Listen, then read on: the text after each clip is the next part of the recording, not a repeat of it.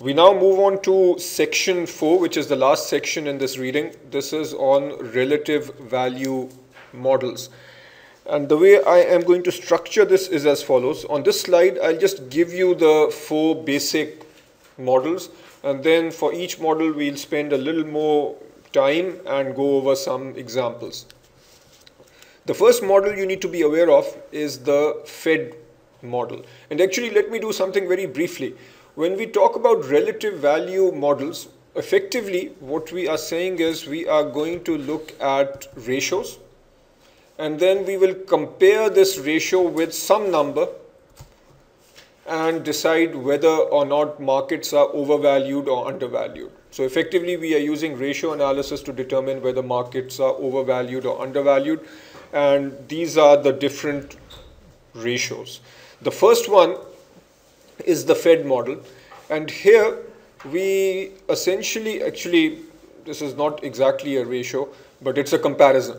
We, with the Fed model, we simply compare the S&P 500 forecast earnings. So this is the forecasted earnings for a given major equity index with the 10-year treasury yield.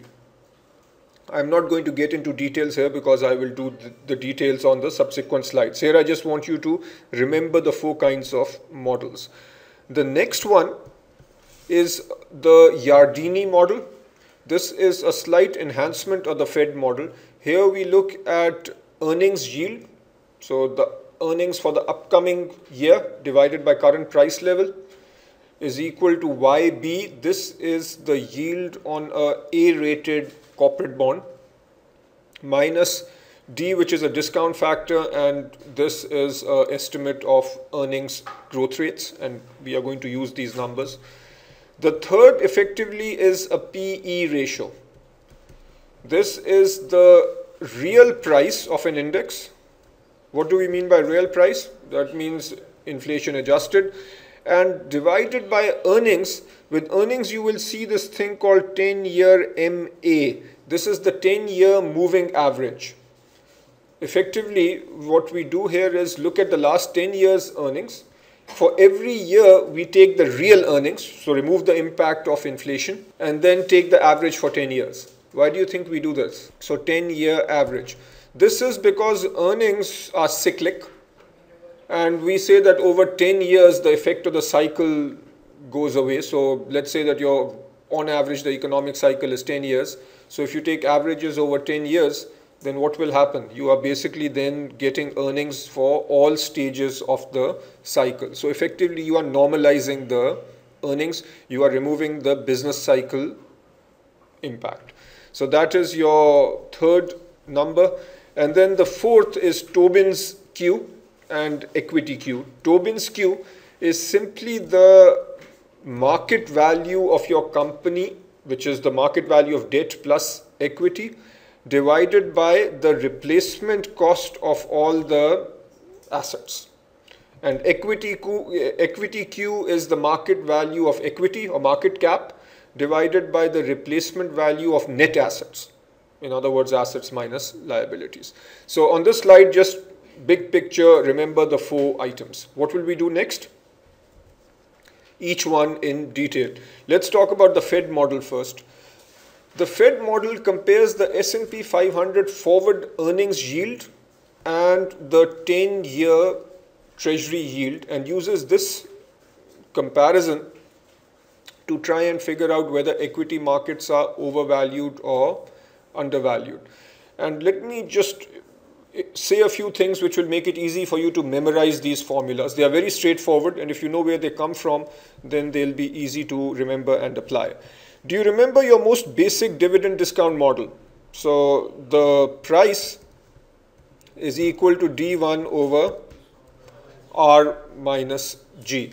Now take a very simplistic world where the entire earning is paid out as dividend and in that world there is no growth.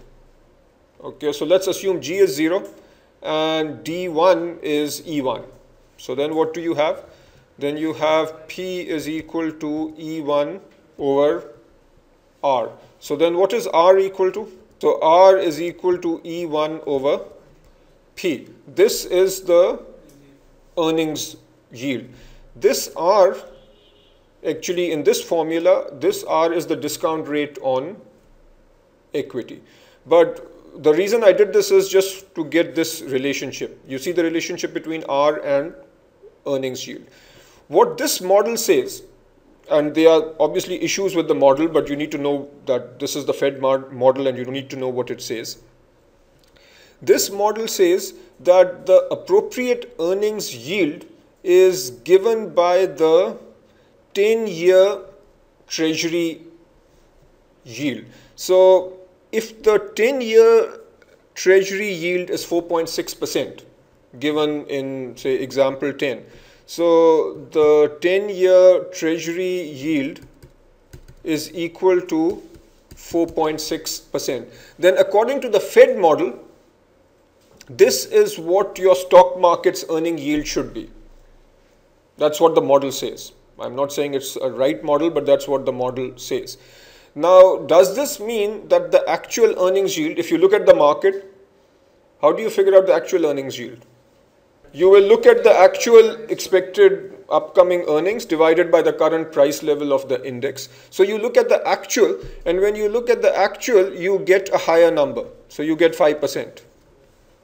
So the actual is 5%.